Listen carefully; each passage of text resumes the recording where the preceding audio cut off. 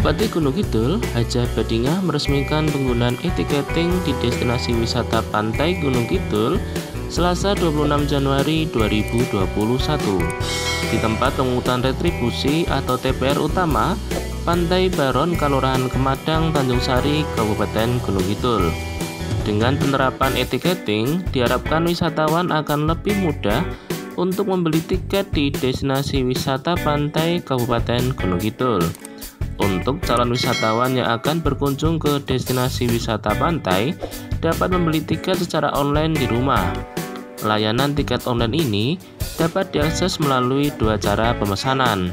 Yang pertama, melalui QR Code dengan cara scan barcode di pos retribusi dan cara kedua, melalui virtual account dengan cara memesan melalui portal website di ewisata.gunungkidulcup.go.id. E-ticketing ini merupakan kerjasama antara pemerintah Kabupaten Gunung Kidul dengan salah satu pihak bank syariah di Indonesia.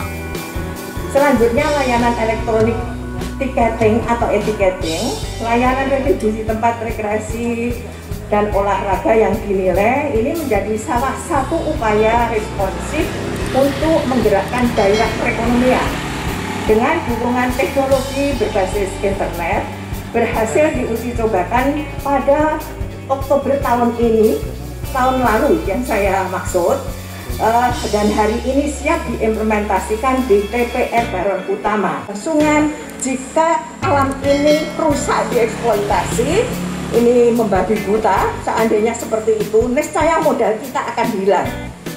Kemudian, apa yang akan kita suguhkan kepada wisatawan? Ini hal yang penting untuk diingat. Kemudian sabta pesona wisata yang harus terus menjadi pegangan kita bersama.